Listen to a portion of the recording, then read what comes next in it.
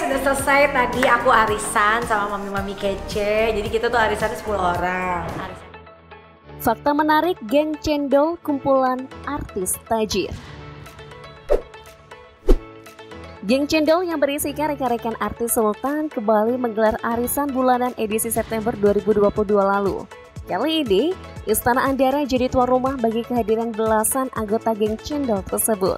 Namun, di balik keseruan yang terlihat dalam foto-foto yang beredar, netizen malah sibuk menyebut nama Fuji dan Lesti Kejora. Mereka mempertanyakan mengapa masing-masing idolanya yang tengah naik daun itu tak hadir. Apakah karena memang tak diundang bukan anggota, atau tak masuk syarat untuk gabung. Menurut kalian, karena apa nih?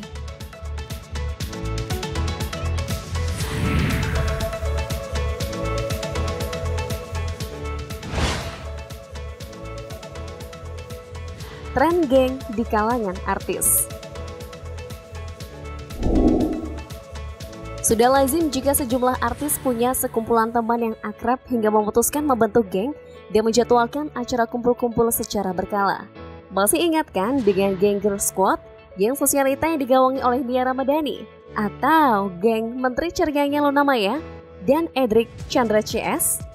Setelah era mereka tak lagi terekspos, tren geng di kalangan selebritas masih terus berlanjut. Beberapa yang kerap disorot adalah geng motor The Prediksi yang diketuai Andre Taulani atau juga geng Blackpink dengan kearifan lokal bernama Blackpink yang salah satunya beranggota Feby Krastanti. Kini giliran Ashanti membuat geng cendol. Sama seperti yang lain, mereka juga rutin berkumpul dan bikin kegiatan yang khas. Belakangan, eksistensi mereka tengah disorot warganet.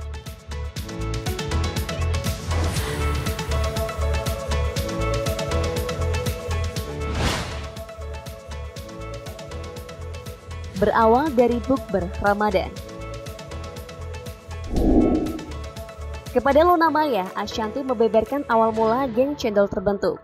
Menurut Ashanti, geng cendol terbentuk berawal dari ajakan buka bersama saat bulan Ramadan 2022 lalu. Saat itu di lingkaran pertemanan Ashanti yang sama-sama artis, banyak yang mengajaknya bukber. Dari situlah, ia kemudian berpikir untuk menyatukannya jadi satu acara. Tak disangka Ashanti mengaku terkejut karena ternyata acara bukber yang digagasnya sukses terlaksana. Karena itu ia dan selebritas lainnya sepakat untuk membentuk arisan agar mereka bisa bertemu secara rutin satu bulan sekali. Sementara nama Cendol sendiri lahir dari celutukan Olah Ramlan yang sebenarnya adalah nama dari grup WhatsApp.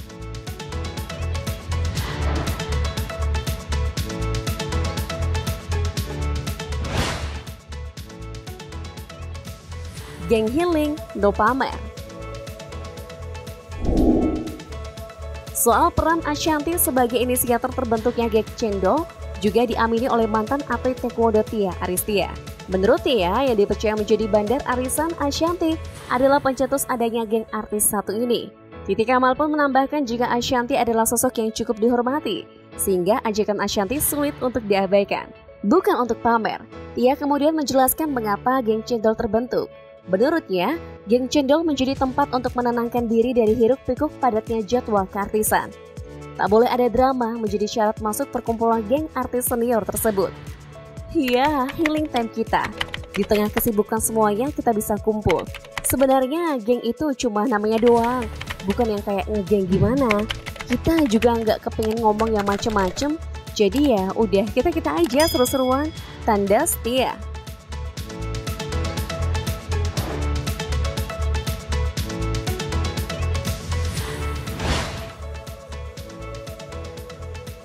Syarat masuk geng cendol. Lebih lanjut, Titi Kamal dan Tia Aristia membongkar syarat-syarat untuk masuk ke geng cendol tempat mereka nongkrong. Pertama, Tia Aristia menyebut syarat utama masuk ke geng cendol adalah selalu nyambung dalam tiap obrolan.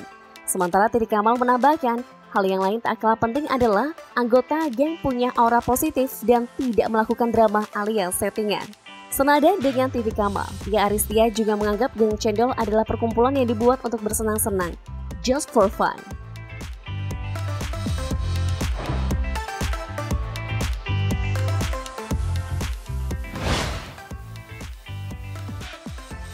Deretan anggota geng cendol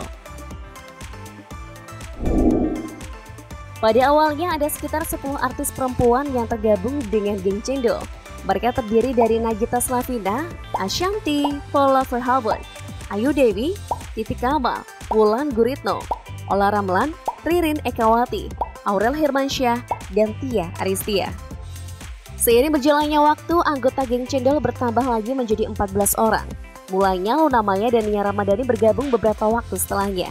Lalu baru-baru ini seleb adik kakak Sharon Sungkar dan Saskia Sungkar yang turut nimbrung di geng artis-artis ini. Seiring popularitasnya, ada kemungkinan anggota geng Cendol bakal terus bertambah. Ada yang pengen gabung gak nih dengan geng Cendol?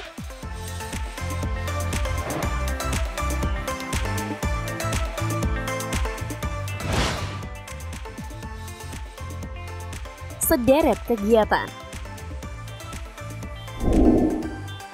Melalui akun Instagram pribadinya, sang pelopor geng Ashanti menyebutkan jika kumpulan circle selebriti ini dilakukan sebulan sekali. Terlebih mengingat para anggota geng cendol terdiri dari selebritas papan atas yang punya kesibukan. Salah satu kegiatan yang diadakan saat bertemu adalah arisan. Karena terdiri dari deretan artis senior tajir, tak sedikit netizen yang penasaran dengan kisaran nominal setoran arisan geng cendol. Meski begitu, mereka tidak membeberkannya.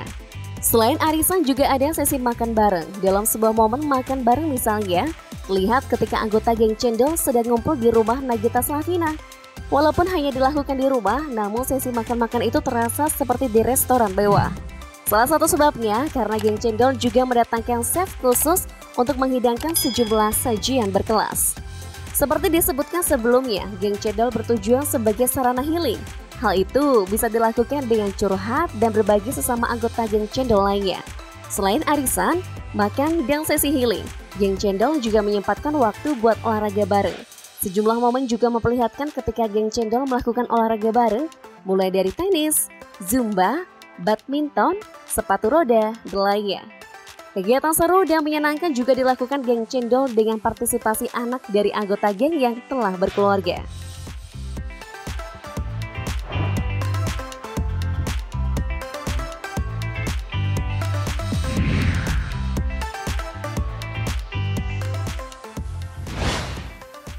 Dari keseruan momen arisan yang ditampilkan oleh geng cendol di kediaman Nagita Slavina, ada segelintir netizen yang menyinggung soal Fuji.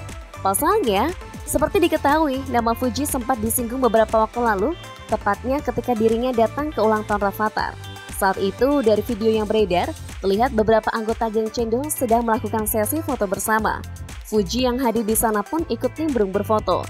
Namun, netizen menyoroti reaksi dari Shiren Sungkar dan Luna pada saat itu yang terlihat tak nyaman. Sontak saja, istilah lo bukan circle kita dilekatkan pada Fuji dan ramai diperbincangkan di media sosial. Kali ini namanya juga disebut. Saat seorang netizen mempertanyakan keberadaan Fuji, salah satu warganet lain berkomentar jika geng tersebut adalah kumpulan artis senior, bukan circle-nya Fuji yang memang baru tenar dalam setahun belakangan. Guys, Menurut kalian, apakah Fuji Utami memenuhi syarat untuk bergabung di geng Cendol?